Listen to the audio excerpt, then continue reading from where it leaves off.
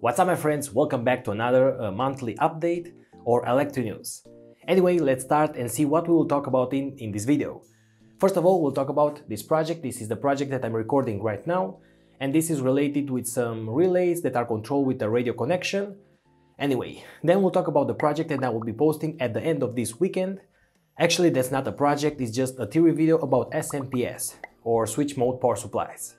Then I will show you something related with a transparent LCD, which uh, by the way it will be very interesting because I'm preparing one project or maybe two with this uh, transparent LCD screen, how to make a transparent LCD screen, control it with the Arduino, and maybe I will be making a projector and also a resin-based 3D printer and that will be made with Arduino and it will cost you like less than $50. So I think that, that will be a very interesting project. And also, I want to show you something that I got this month on my workshop related with the microscope and also some soldering, uh, soldering tools. So stay tuned for that. And by the way, there are some new merch on my shop on Teespring. So some new t-shirts. One is related with an Arduino fighting against the Raspberry Pi. So maybe you like that. So if you're interested into purchasing any of these shirts, just go to my shop and by that you'll also support my channel. So let's play the intro and let's see all everything in, in this video.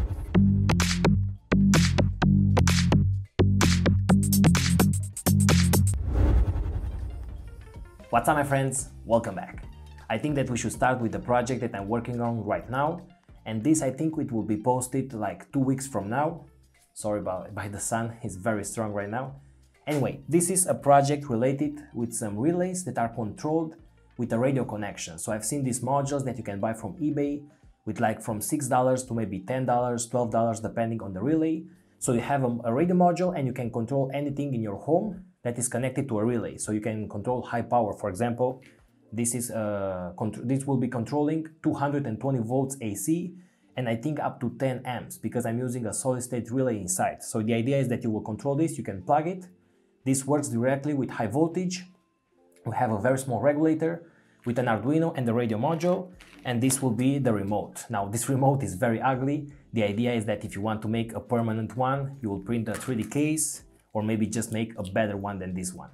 So when you push a button, the relay will get active, and when you push it once again, it will deactivate, and like that you can control high loads with this. I think this, this will be a very interesting project because it's very, very cheap, less than $10 and uh, having multiple buttons like this, four buttons, you can control maybe a lamp, the ceiling light, a fan, maybe even turn on your PC and so on. So let me show you a little bit closer to the, to the project. So guys, this is the project right here. The receiver is inside this case here, but you can place it in any other electrical outlet like this one, but you have to make sure that you have enough space. But as you can see, this is quite small, so the circuit is only inside this. Maybe later I will open this up and show inside. The receivers have only this, these uh, components. You could use a coil-based relay, but this is quite big, so I decided to use this one, which is an SSR or solid-state relay, and I've uh, took it out from the circuit from the PCB because it's quite big and soldered it directly on my circuit. Anyway, let me tell you the important part about both the transmitter and receiver. Okay, so first with the transmitter, as you can see, it using the, it's using this battery, because I want to reuse batteries from all the phones that I'm not using anymore, but you can use any other battery like this one here that is uh, 4.2 volts. The idea for uh, the transmitter is, is that it has to be, it must be low power because you want the battery to last at least one year or, or maybe two years. So we have to lower the power consumption of the Arduino a lot. In this case, I was able to lower it uh, down to 90 microamps, which is a lot. With a 500 uh, milliamps hour like this one, you can uh, make this project work for more than one year. So that's that's pretty amazing. So I will teach you in this project how to make the code for the low power mode for the Arduino and also what components you should uh, take out from the Arduino in order to make it uh, use less current. So that's the part from the transmitter. Also how to select the radio transmitter because this is the one that least power will use. So that's the transmitter. Now let's see the receiver. Okay, so as you can see, I've took apart the case for the receiver, and as you can see, all the components are fitting inside this very small case. So the most important part for this uh, receiver is to use very small components. And the second most important part is that you want this to be independent. You don't want to use batteries with this project because this should be, you don't want to charge the receiver. You can charge the, the remote control, but the receiver should be independent for the rest of the circuit. So for that, you have to use the same high voltage, the 220 volts that you want to control, to use that to supply your Arduino and the relay. So as you know, the Arduino is using lower voltage. So for that I've selected this very small voltage tra uh, transformer, voltage uh, controller, voltage regulator, sorry for that, and it's using a very small transformer and could deliver up to 500 milliamps I think, which is more than enough for this project. So uh, with this being so small, I will be able to fit that, that inside of the case and supply 12 volts to the Arduino. Now as you know, this Arduino will have a voltage regulator, so we can regulate the 12 volts to 5 volts and then supply the radio receiver and also the small relay. And another part that I will be showing in the tutorial is how to take out the SSR, uh, the solid state relay from the PCB and solder the transistor and some resistors on a smaller PCB because as you can see, this PCB from the module is quite big so it won't fit well inside of the case.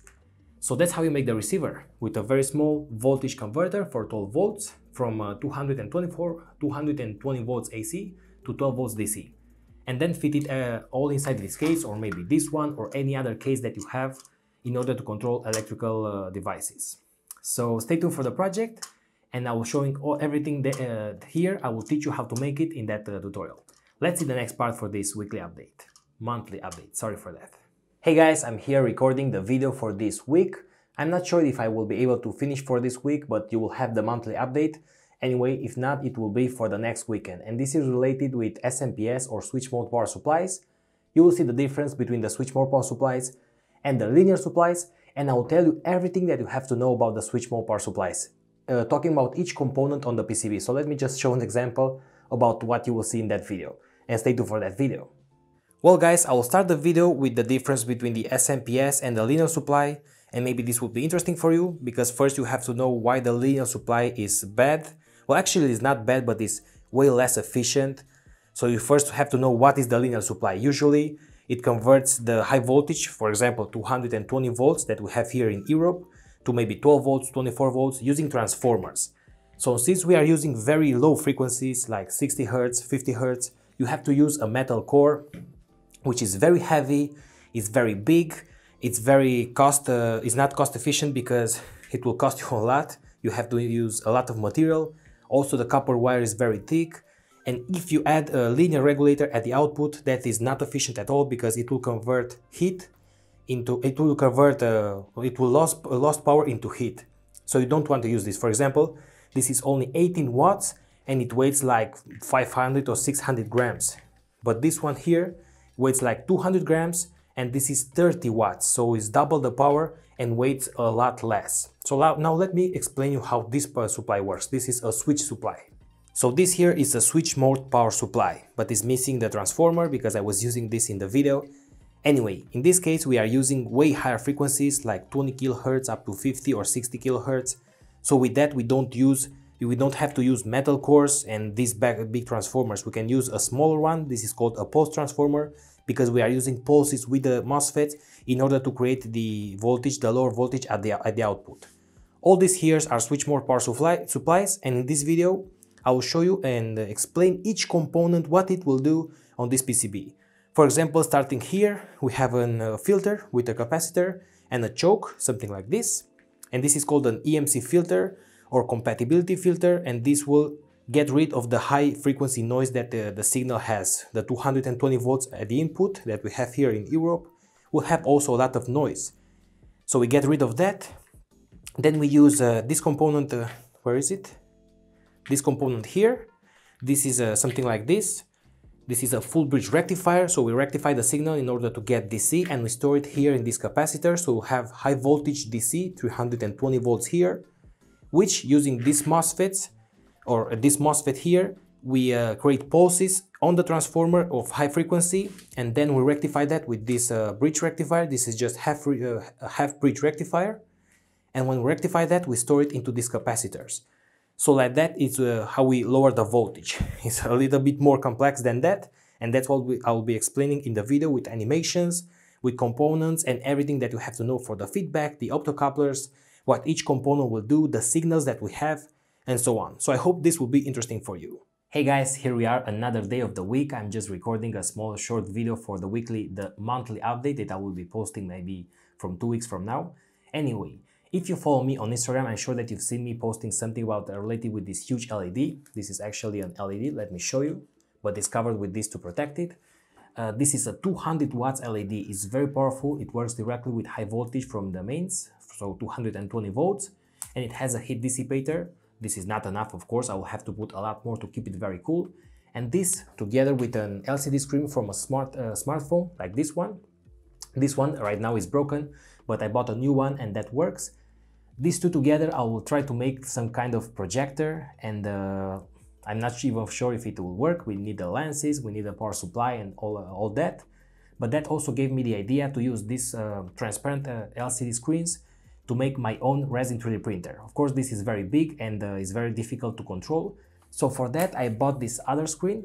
This is also an LCD screen that I've took out from a small module, cost only $3 and all you have to do to make it transparent is to take the lighting lightning from uh, from behind so just a few layers and then it will be transparent the cool thing about this one is that you could control with the arduino and also if you have an sd card you can read uh, image files so bmp files and send those to this uh, to the screen the idea is that I want to slice the 3D part that I want to print into small uh, images in BMP format and then send each one on the screen. Then I will have to use some UV light from below, so a few more LEDs, and uh, cure the resin for a few seconds and then go to the next layer. In a few moments I will show this working, it's very interesting this, uh, to see this transparent LCD, as you can see this is transparent. So the idea is to make a resin 3D printer that will be very very low cost, maybe less than $50 or even maybe less than $40 because the LCD screen is like 3 euros.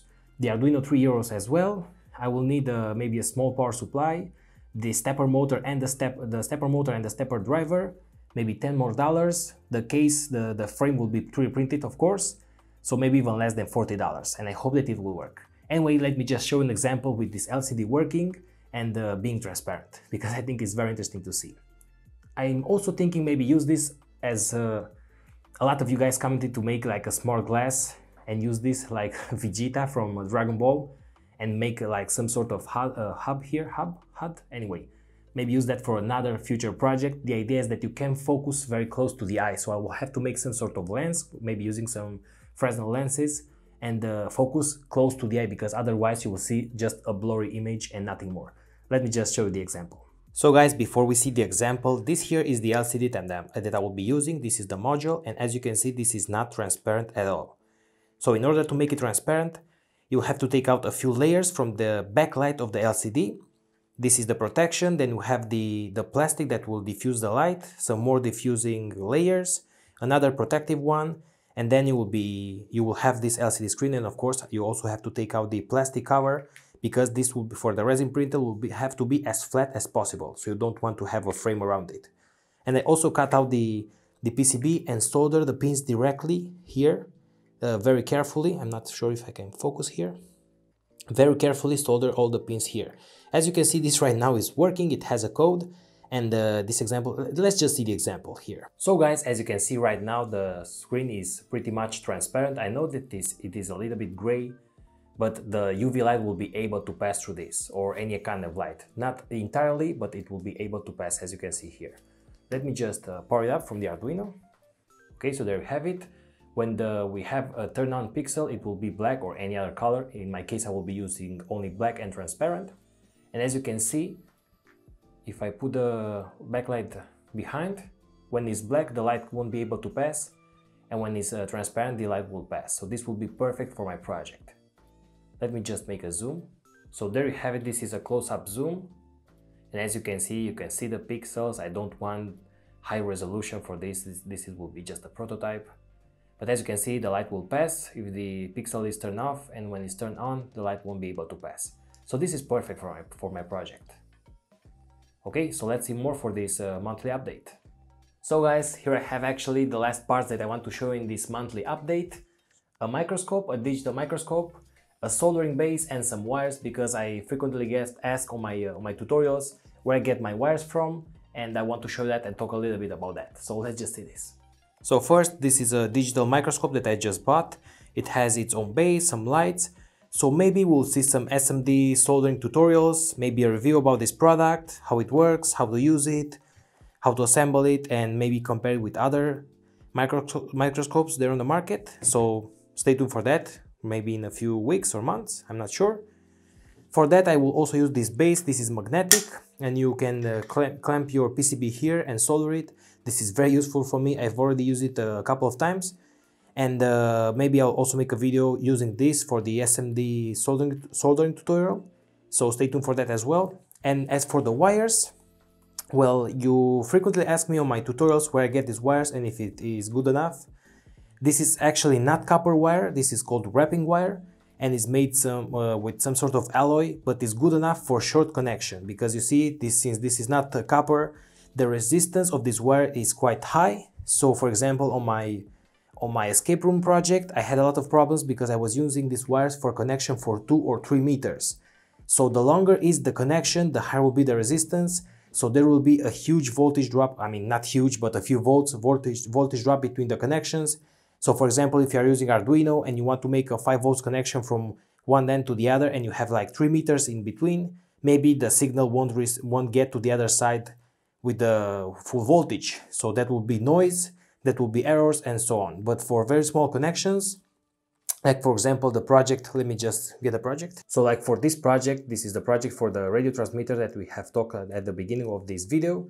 As you can see for a very short connection, this is perfect because it's very thin, very easy to solder and very very cheap i mean for like seven dollars you can get 300 meters of this and you can get a lot of colors so it's easier for you to know red is vcc black is ground uh, i don't know maybe signal you can use the green the blue one and the brown one and you can get any other color that you want and it's very very cheap so that's why i'm using this for short connections i mean short maybe even up to one meter but if you go more than that probably you will get some noise but if you use higher voltage, maybe the noise won't be that, uh, that high. So this is the wire that I'm using. I'll put some links below. I'm using eBay to buy this. And uh, yeah, that's it. So I think this will be the end of this video. So guys, I hope that you now have a pretty much a good idea of the upcoming videos for this channel. For this month and maybe the next month, we have seen the transparent LCD screen. Just focus here. The transparent LCD screen, the project that I'm working on right now with the radio transmitter and the relay control. We have also seen the project that I will probably post the next weekend for the, it's not a project, it's a theory video about the switch mode power supplies and also some parts that I have here on my workshop, the microscope, the wires that I'm using, and also the, the stand for soldering the SMD parts. So guys, I hope that you enjoyed this. Make sure that you subscribe, activate the notification bell, and I'll see you in the next video. Keep up you guys.